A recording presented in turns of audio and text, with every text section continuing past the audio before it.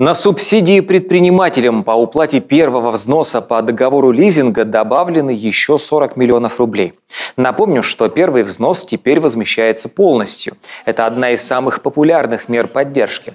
Это поможет модернизироваться еще 20-25 предприятиям, приобрести оборудование и создать 140 рабочих мест.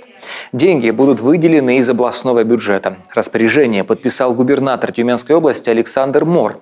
Прием документов начнется с 15 августа. Все вопросы по лизингу малого и среднего предпринимательства можно задать по телефону 8 345 2 42 66 42.